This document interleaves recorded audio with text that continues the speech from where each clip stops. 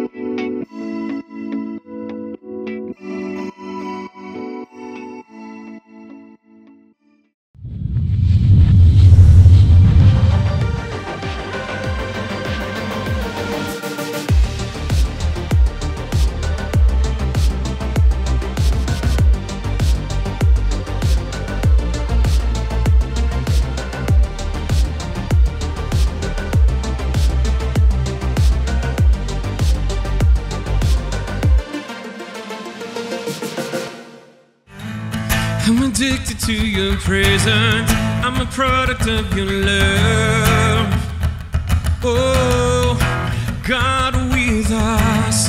Freedom never felt so present. In your name we overcome.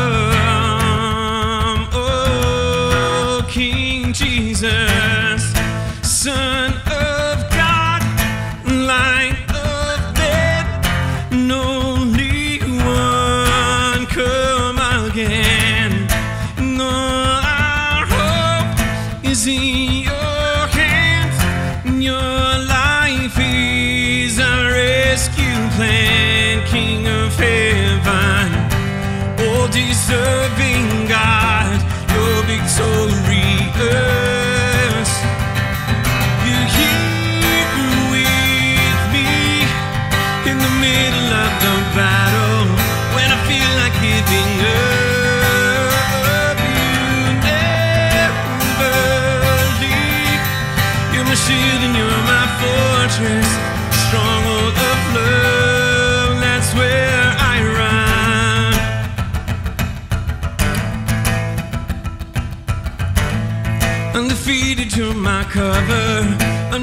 Everything is your love.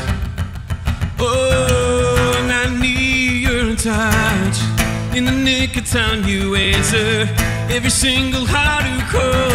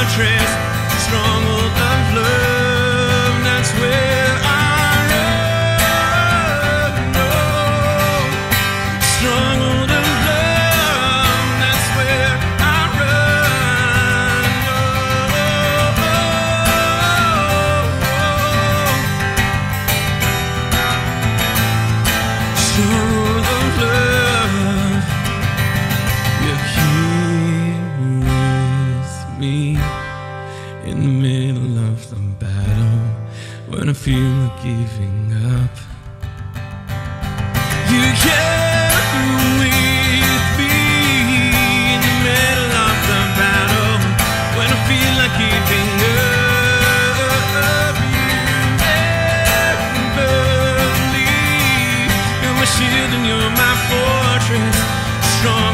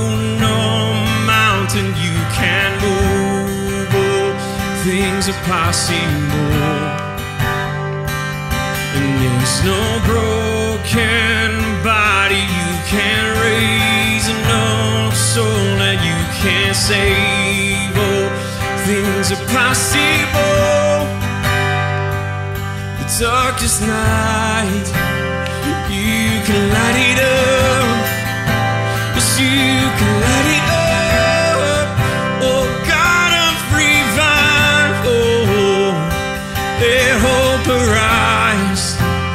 Death is overcome. Yes, you.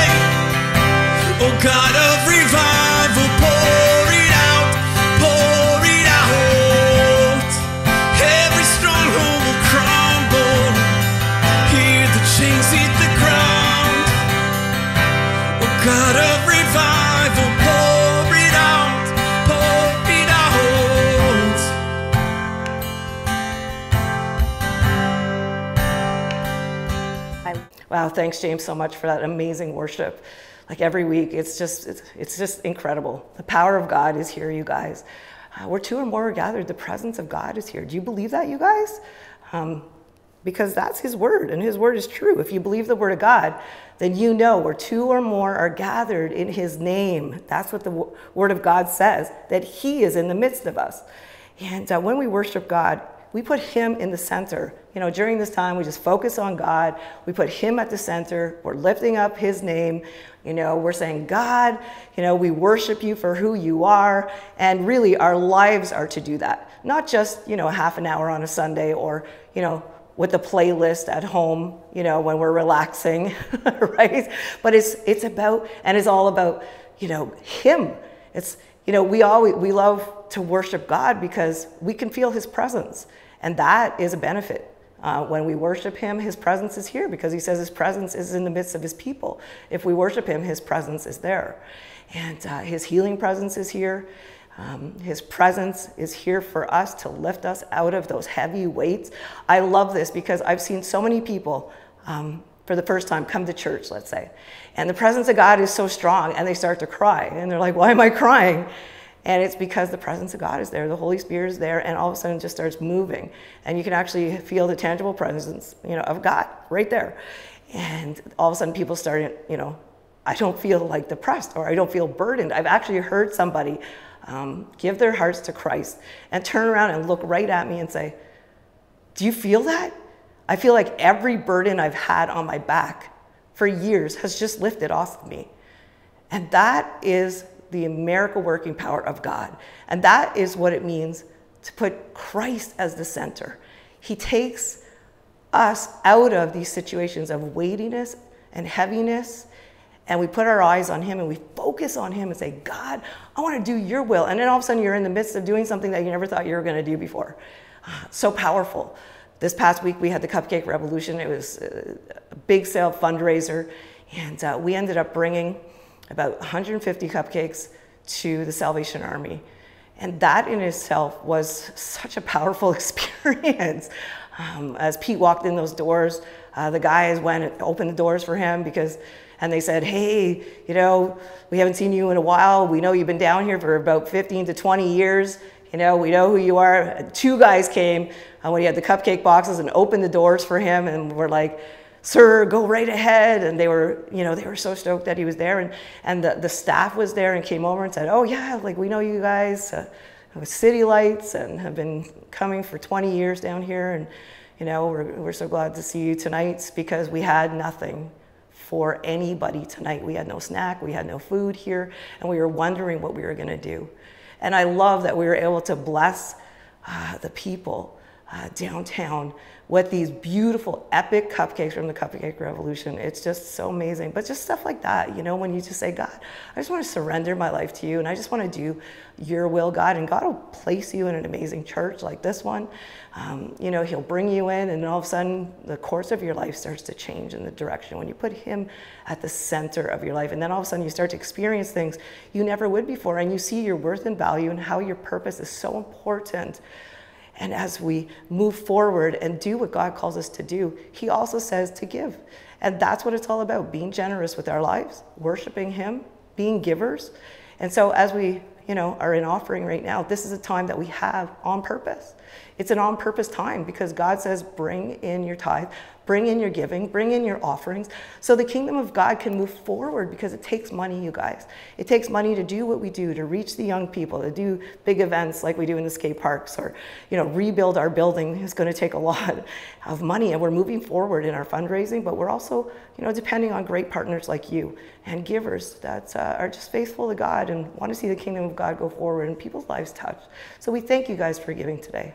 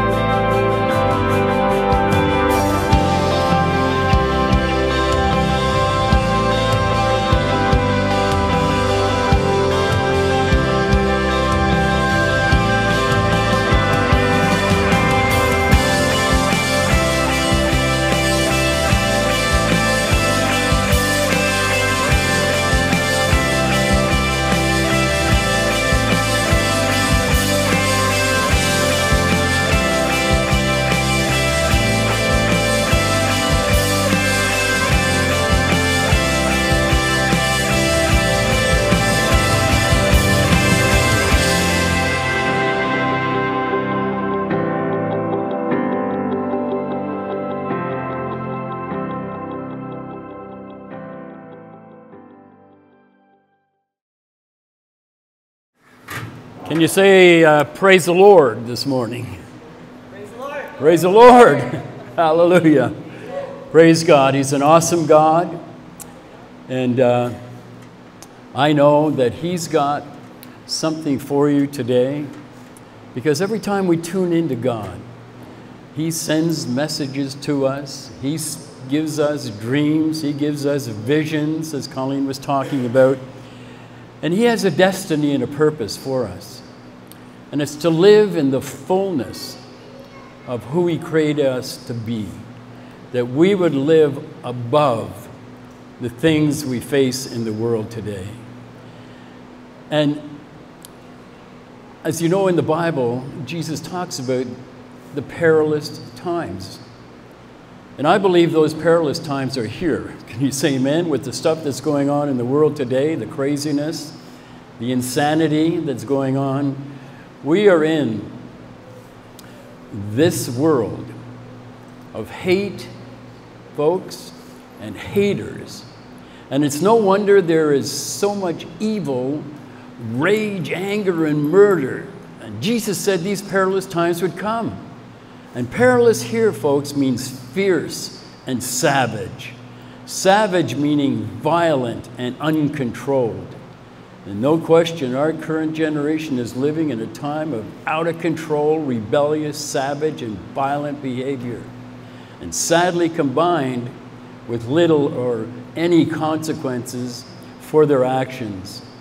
Lies upon lies and conflict upon conflict have led serious, you know, confused and, and resulting in brain damage even. Hatred amongst people groups has resulted in violent demonstration causing personal injury, even death, and tremendous property damage, folks. It's just as Jesus declared in Matthew 24 when he speaks of nations rising against nations. In the Hebrew, it means nations are people groups rising up against people groups. And oh, how we're seeing it. And these are all signs of a godless generation, as referred to in Proverbs 29, verse 18 and 19. Where there is no vision of God and His Word, the people are unrestrained.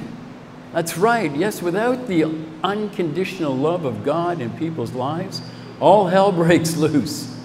And it's literally breaking loose. The demonic forces of hell are savagely ravaging people's minds and leading them to believe there is no hope and resulting in depression, anxiety that won't go away, folks. And recent studies have confirmed that unconditional love is a kind of love that is given freely and without expectations of reciprocation or reward. This type of love accepts the recipient for who they are, flaws and all, and it's not dependent on external factors. The findings are that when unconditional love is received, it leads to increased happiness, self esteem, and resilience. How many here need some of that, amen, in their lives? You know, unconditional love is more of a selfless act than a feeling. In other words, unconditional love is a decision, an act of the will. It's a commitment. Further studies indicate that receiving unconditional love activates neural eh, networks, neural networks within the areas associated with the brain's reward system. So while it's not a feeling in the strictest sense of the word, it does produce strong feelings of emotional well being. Wow. If you've been loved unconditionally, you know what I'm talking about. You know, a great example, and I experienced that, and we, if you were here last week, is that of therapy or comfort dogs. Lisa was here with her comfort dog last week. And these dogs are incredibly gifted and intelligent, with a very calm demeanor, you know, and after a few months of training, they're able to detect a person's need to be comforted. They can't respond to your emotional state in the same way you're expressing it, but they know exactly what default to, you react to. And so they draw close. They nudge you with their nose and their unwavering deep gaze and their overwhelming warmth soothes your pain. Wow, praise God. You know, a young person said it so simple. Whenever I'm upset, my dog Ralph is right there and puts his chin on my knee and looks up into my eyes as if to say, I'm here for you. Praise God. You know, I love the many ways that God reveals his unconditional love for mankind. That's one of them. You know, whether it's that nudge, and I'm here for you, look, the overwhelming first cry from your newborn child, that stirs an indescribable emotion that fills your soul. And the first time they say daddy or mummy, your first love, your first kiss, how they captivated your every thought, every dream, every breath, and your constant longing to be with them. Wow. Let me tell you a story. The first time I met Claudia my wife, was in a park area where we were, I was 15 and she was 14. And we were all running around, the guys were all running around chasing the girls and kissing them. When I saw Claudia, I ran and I ran, and she was fast. And she was running away from me. She never seen me in her life before, right? But I finally caught up to her. And I'm telling you, that first kiss, that was it. I was in love, 15 years old, totally captivated by the look in her eyes. And wow, she looked at me like, Who are you? but it was a, a look that said, Wow, I love that. And that was it, the beginning of a lifelong relationship based on unconditional love. Coming to Christ was the greatest experience we both had as husband and wife. That things began to come into place to solidify our relationship and our love. You know, every night, you know, that I would leave her, I would walk home. She lived in Sandy Hill. I lived out in Carlingwood near the shopping center at Carling and Wood, Woodroffe. I walked home from Sandy Hill, and she was on my mind constantly. I couldn't get, I couldn't wait to get home to call her, and we would talk all night. Every night we did that. Every night. Wow, you know, I'm telling you, that's what unconditional love does. When you know you're accepted for who you are, not what you do. Unconditional love, God says, looks beyond the flaws, as we just said. It looks beyond, you know, the behavior. It looks at the heart. Wow. Wow. You know, although most of these events are maybe one time or short term or even everlasting, they're forever reminders of our need to love and be loved unconditionally. The God kind of love. You know, love, as the world so fragrantly flaunts it, is based more on emotion and feel good for the moment kind of experiences. You know, saying I love you is often used to deceive, lure, seduce, and take to use, abuse, and then abandon. Wow, that's the world we're living in. How we combat and overcome the perversion of a godless generation, folks, we need more comfort people. Can you say amen in our world? Hallelujah.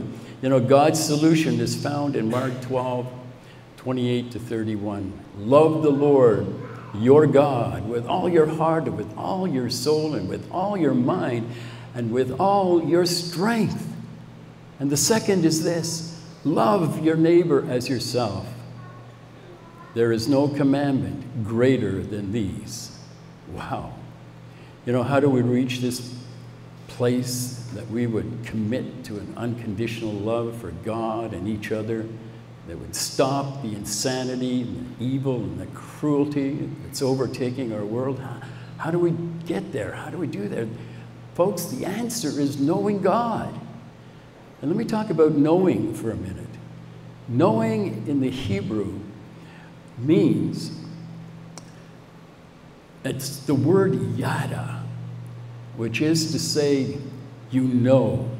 But to know, it means to be entwined with the person, like a three stranded cord that can't be broken. That's unconditional love. A knowing that goes deep to the deepest level. You know, now don't turn or turn me off here. I want to come back and go deeper into what we've just heard.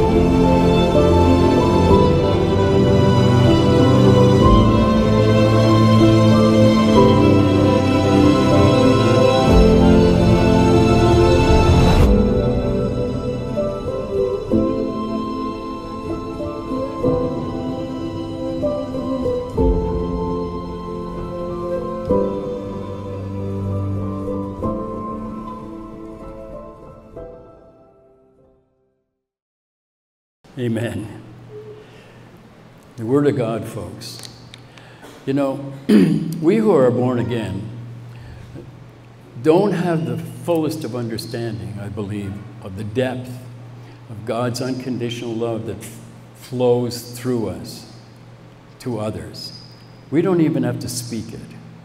Because, you know, when you realize the kingdom of God lives within, the fullness of God, the fullness of the Godhead, Father, Son, Holy Spirit lives within us as we become born again, as God saves us. You know, the true way to become intrinsically entwined in God with unconditional love is not a matter of, you know, us telling God, okay, take over my life. It's His grace that leads us to Him. When we suddenly realize, you know, that we are living in a world and there's got to be more. You know, the, a world where we, people look around and they're becoming depressed and oppressed, you know, angry, violent. As I said, we're in the perilous times. The hatred one against the other can only be resolved by having that one relationship with God and God alone through Jesus Christ. And that's the answer through Jesus Christ. For God so loved you and you and all of us and all the world. For God so loved the world that he sent Jesus to take the sin of the world upon him and our sin. I remember when God saved me, I wasn't searching for God, but my wife knew God. And she loved me unconditionally. I believe she loved me unconditionally before she even knew God. But the way she loved me brought life to me. And I remember laying and looking at my life. We had three children at the time. And I'm saying, you know, I know every aspect of my family's life except the part of my wife that knows God. And I don't know God. And I believe it was a moment where God was drawing me to Himself, that His grace was drawing me into a relationship with Him. And He saved me. I didn't ask Him for anything. He just came into my life, took over my life. And you know, I've met so many people that when I, you know, when we talk about it and they say, well, I'm a Christian or, you know, I believe there is a God. And often when I talk to them, I realize they're saved. They're born again. They don't even know it. God has saved them. And they're, you know, I can tell it's less than five minutes into a conversation. They're saying, you know, there's something, you know, did, I did have a kind of an experience, you know, and s- suddenly I want to help everybody. And that's when we share, you know what? You're born again. God has saved you. What you mean? What is saved? Saved from what? saved you for a purpose that you would fulfill the destiny that He has for you before you were even born. And that's the power of God's grace. That's the power of God's unconditional love. And that's why He says to us, go and find those people and make disciples. when you're talking to people about the Lord and your personal testimony, you know, we don't go around, right, looking for people to, you know, shake them up and say, you need Jesus or you're going to hell. Oh, no. I mean, God shivers and shakes at that, you know. No. We're to develop relationships, talk to people, and especially people close to you because they see your transformation. They see the change in your life, and you've gone, some of you, from monsters to beautiful, loving, warm individuals through the power of God's love that's come into your life. And so, you know, if you're, you know, watching and, you know, you're saying, wow, I, I, I did have an encounter. And I'm telling you, You know, God has saved you by His grace. So many people, you know, think, well, you know, I have to get rid of certain things. I, I could never be a Christian. I could never be like you, you know, and they look at, say, no, God wouldn't accept me, you know, with the, the stuff I'm into, the stuff I'm doing, the behavior.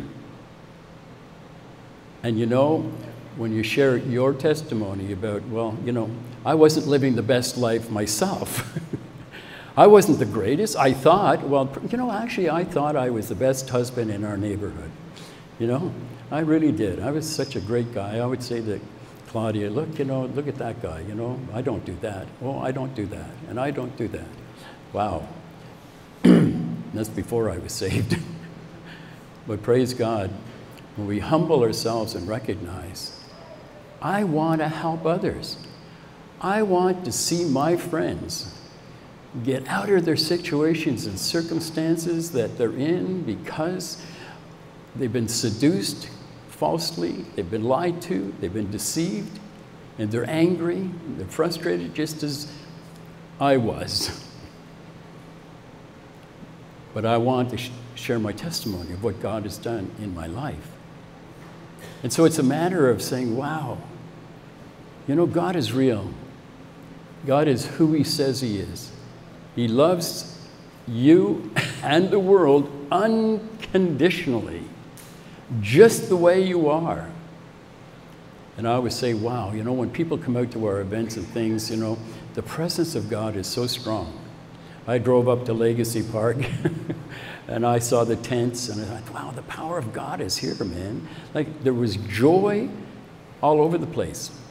Little kids running around, you know, parents, you know, chatting it up, talking. I said, wow, you know, that's what happens, you know, when, when you walk into a room, folks, the power of God that lives in you, anything that's not of God in that place, anything that's evil, has to leave. Because the Bible says there's no place, you know, for good and evil to coexist. When good walks in, when the power of love walks in that room, the enemy flees. It's called resisting the devil, and he will flee. And so every time I'm in the presence, whenever I have any kind of appointments and talking to people, um, um, I know when I walk in the room, there is going to be a presence of God. I know the power of God. And the people, yeah, the power of God, I'm telling you, takes over. And I've had hundreds and hundreds of people in the last 50 years, you know, since I've been saved, ask me what it is that I have. I want what you've got. You seem to be at peace. You have no fears. I have no fears. I'm afraid of nothing. Because when God is with me, who can be against me? That's his promise to me but I have an unconditional love for everyone. And that's, again, what a born again Christian is. Some people say, oh, yeah, I, sa- I said uh, some prayer, and uh, uh, they told me I was saved. Well, I've had many people come to me and say, you know, after being in your church for a while, I realized, you know, I said this prayer, but I'm beginning to realize I'm not born again. They told me I was, and I, even when I questioned them. But I, I don't do the things you're doing. Oh, well, you know, it'll take time. Well, they're not born again. Born again is responding to the love of God that draws you to Himself. And so, if you're here this morning and you know you, you're experiencing the power of God's love, you're, you're experiencing, wow, your destiny and your purpose takes you to a place where you can be free to be me, if you will. Free because who the Son sets free is free indeed. And so if you're here this morning and you, you're feeling that call, you're feeling that presence of God, you know He's here. And He's calling you That I want you to just raise your hand and say, That's me. That's me. I know. He's touching me right now. He's calling me. Then praise God. You know, when God takes over, it's because of Jesus. And so, you know, the prayer always, and I've had it happen so many times, the prayer of, oh God, forgive me, come into my life, just comes out automatically after they've been saved. It's after you're saved that you recognize, wow, God, thank you for saving me from the sin I was in, the world I was in. And that's what happened to me. Because I'd never heard the gospel preached, ever, ever in my life when I, before I was saved. And it was like the transformation was, oh God, thank you. Matter of fact, I had a vision of Jesus on the cross. And all I could think of is, I put him there. I put him on the cross because of the life I was living. But he went to the cross and took that sin upon himself. And so praise God. You know, if you're questioning whether you're saved or not, well, if, if you're here and you've, you know, you've recognized that you're born again, then God's got a purpose for you. You hear it here every Sunday. We are a church that is out in the highways and byways. We want to bless the kids of this generation, and that's what 457 NBS and you know the events we have. We're there to love on them and to serve them and let them know there are people, you know, that care. There are people that want to bless. You know, that's, that's why we give away the prizing to bless them. And they recognize, wow, something's different tonight at Legacy Park. There's a different atmosphere. You know, there's a joy. There's, you know, there, there's, there's nobody trying to, you know, push drugs on me. Because the drug dealers can't exist in those environments. And that's you and I. And that's what God has called us to be who are born again. So praise God. If you're out there and listen, you know, uh, uh, out there online, Living Waters online, and uh, you know, you've never had that experience, but you're recognizing right now something's happening, then I want to tell you, it's a matter of turning away. You know, once God saves you, turning away from the life that you've been living and get rid of the things that you're involved in and watch what God will do with you. He'll, he'll save you to the uttermost. Hallelujah. And you, as you grow in God intimately, the deepest knowledge of God, your life will make a difference.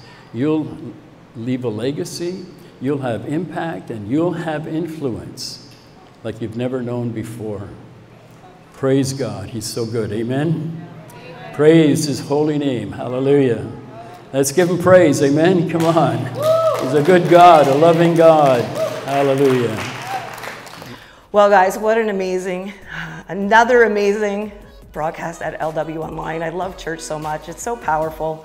Um, every week I look forward to Sunday. Sunday is amazing. Um, I don't think I've missed, you know, too many Sundays in my life uh, going to church. I make it a priority in my life. God says, keep the Sabbath holy. Come on, that's, that means keep my day for me, you know?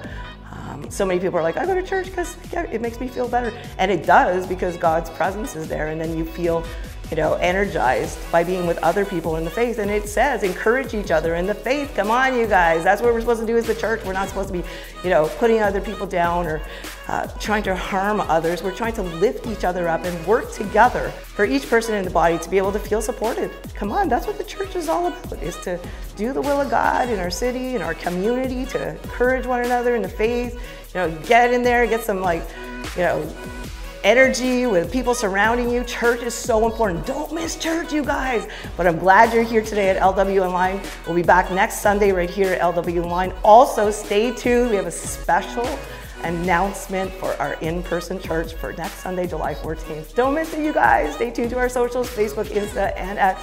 And we cannot wait to see you again next Sunday at LW Online.